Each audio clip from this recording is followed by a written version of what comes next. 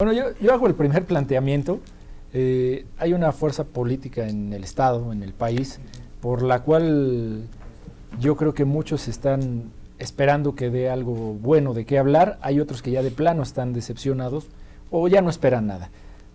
Así de, fácil. Eh, me refiero al Partido Nueva Alianza. El Partido Nueva Alianza que tiene presencia en ayuntamientos, cerca de 40 regidores, presencia en la legislatura, con cinco diputados y la pregunta es, ¿qué ha pasado con este partido? ¿Qué ha pasado con su ideario, con su trabajo? ¿Qué pueda significarse hoy en algo que nos dé idea de que tiene sentido que estén ahí? Bueno, vamos a iniciar, si me lo permiten, justamente con un panorama un poco más amplio de lo que es el panal aquí en el Estado de México. Nueva Alianza es un partido político mexicano fundado por el Baester Gordillo, que obtuvo su registro legal en 2005 y que participó por primera vez en las elecciones del 2006. Desde entonces, no ha obtenido ningún cargo solo, pero sí con aliados, como el Partido Verde Ecologista de México y el Partido Revolucionario Institucional, con la alianza Compromiso por México, hasta las elecciones presidenciales, pues se creyó con la capacidad y fue solo quedando en último lugar con apenas 2% de los votos, por lo que apenas mantuvo su registro.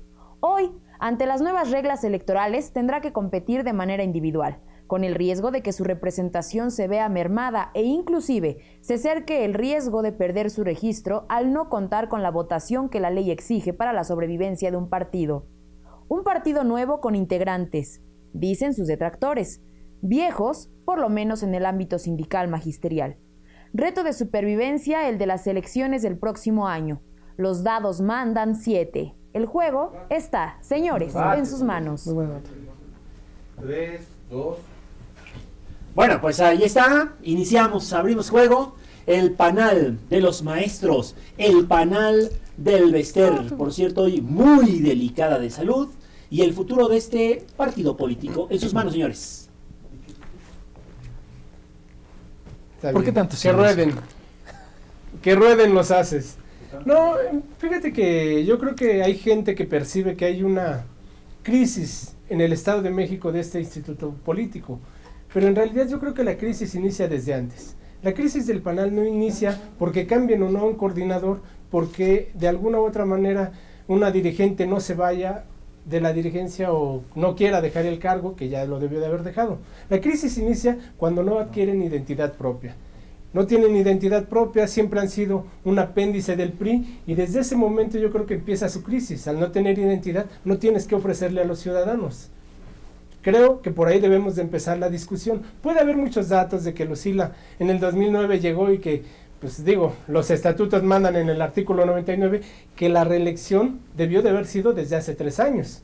Y esto pues no se ha dado, ¿no? La elección, la, reelección fue de facto y se dio de efectivamente, ¿no? De acuerdo a los estatutos de ellos, ¿no? Sí, mira, yo me refería en, en, la participación introductoria a que este partido con Gabriel Cuadri, que es el personaje más prominente, o con la defenestrada o la maestra del Baester Gordillo, lo que hoy representa, eh, alguna expectativa tenía, algún peso específico, si bien en clara coincidencia con lo que podría ser el, el PRI o, dependiendo de lo que ese partido marcara, algo podría significar, dado que había sobrevivido, había logrado pues un buen número de, votos, de gente que podía pensar que, que, esa bandera de la educación, que esa bandera del magisterio, podría ser algo interesante, pero coincido en que no es, no es el cambio de coordinador, sino el tema ¿Qué ha hecho? A mí me parece que el Partido de Nueva Alianza en el Estado de México sí está en crisis. y, también tiene que ver la ¿El Estado nada más?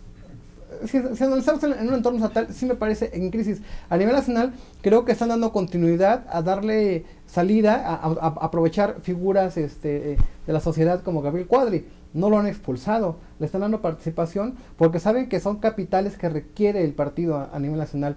En el Estado de México se ayudaron en figuras de buen renombre y con posicionamiento público social presentables ante la sociedad como Víctor Estrada, lo hacen candidato, lo mandan a hacer campaña en un distrito muy complicado, logra entrar por primera minoría a la bancada, le lo hacen coordinador del grupo parlamentario y de buenas a primeras, como resultado de una lucha política entre los maestros del CENTE y los elvistas, le dan golpe de estado, como se dijera, lo remueven y sustituyen con un maestro el, mensaje que se envía a la sociedad es que las personas que vienen de afuera no tienen cabida si no perteneces o a los elvistas o a los maestros.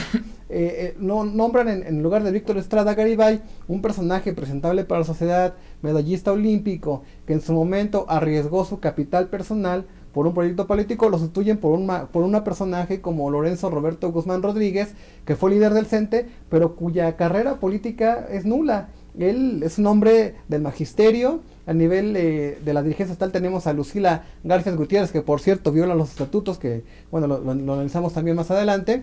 Eh, sin embargo, también es proviene de la élite magisterial. Entonces, ¿dónde está ese partido de los, ciudadanos abierto a, nuevas opciones? Pues finalmente, ¿cuál es el mensaje que nos están mandando? Que sí es un partido de los maestros y un partido donde están luchando con el control, el vistas contra magisterio. Bueno, evidentemente yo nunca vi un partido de la sociedad, del, partido del Panal nunca fue un partido ciudadano, siempre pero, fue un pero la campaña sí fue la promesa, de los maestros. creo que, que puede, haber un tinte ¿eh?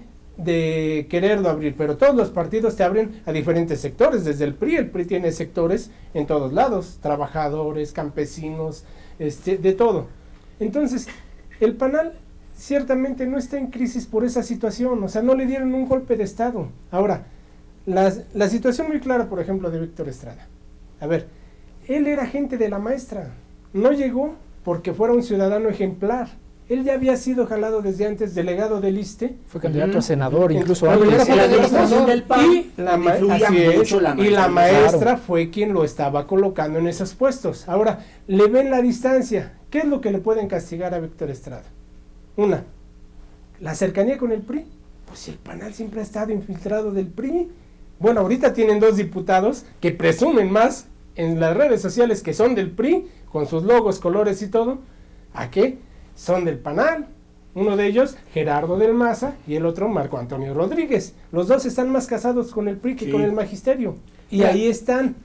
No se puede perder de vista, en mi punto de vista, sí traiciona eh, sus propios estatutos que establecen que es un partido abierto a la sociedad, un partido liberal con, donde tiene la apertura a todos los sectores de la sociedad, no un partido de los maestros. O sea, desde ahí eh, desde ahí está mal. Pero yo creo que eh, estaba en el inconsciente colectivo, ¿no? pero era de los maestros. Que era un partido de, los maestros, ¿no? Sí, pero entonces, ¿qué es lo que tú entiendas o lo que dicen los partidos en su razón de ser, en su declaración de principios, en su Bueno, no, ya, de los maestros o tan es de los maestros que su votación está dirigida a los maestros. La subsistencia del partido estaba fundamentada ahí. ¿Y la campaña de educación?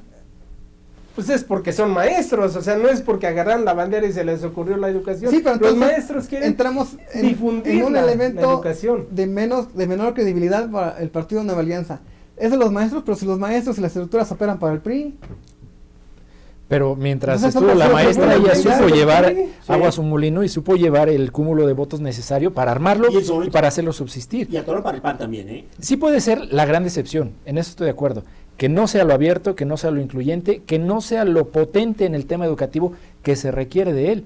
Eso es el, problema que, que aquí yo creo que está enfrentando. Ahora yo les pregunto, con la nueva reforma electoral y esta posibilidad de que desaparezcan los partidos que no verdaderamente representen en votos, por supuesto, a la sociedad, ¿cuál es el futuro del panel para el 2015? Inclusive, no sé si llega al 2018. ¿Ustedes qué, opinan? Pues finalmente irá en alianza con el PRI, eh, se tratará de, sumarse ahí a los votos que trae como coalición y este finalmente pues su crisis es más de, cuadros no están presentando figuras nuevas y yo creo que incluso eh, meterán nuevamente periodistas y dirigentes magisteriales en, las próximas candidaturas del 2015 bueno si se quieren de alguna manera pues pertechar este, atrincherar digamos dentro del magisterio pues es obvio que van a esas figuras son las que van a, a resaltar. En este caso pues los dirigentes de las secciones sindicales los que tienen ahorita incluso este en su bancada local algunos que vengan de la federal, pero yo creo que lo primero que deben de hacer es,